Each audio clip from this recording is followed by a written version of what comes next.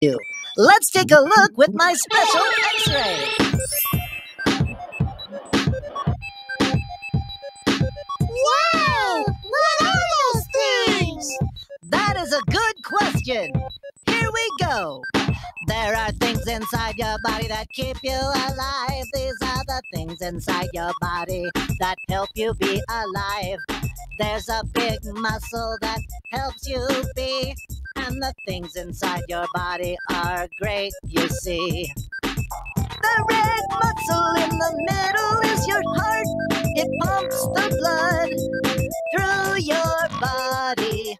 You have two lungs that help you breathe. They pump the air through your body.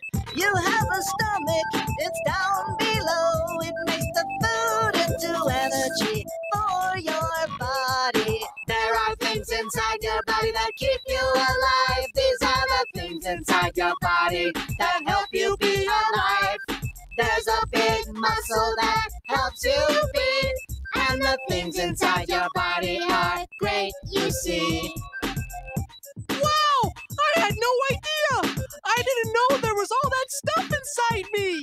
Yes, your bodies are full of all kinds of things that work together to help you live. It is important to eat right and exercise so it keeps your insides running well. Yeah! Hooray! That's right.